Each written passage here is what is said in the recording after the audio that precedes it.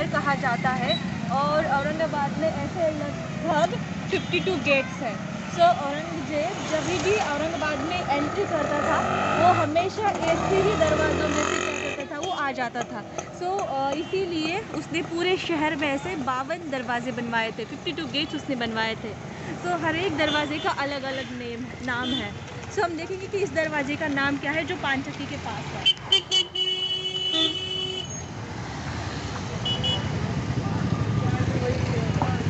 Thank you.